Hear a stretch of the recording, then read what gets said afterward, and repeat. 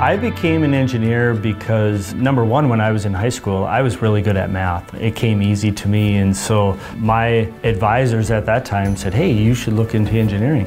I really enjoyed outside and I really enjoyed the outdoors, and so one of the things I was pushed to was to look into engineering to be outside and work on some of the construction projects, and that interested me, and so that was kind of how I started out in my decision to be an engineer.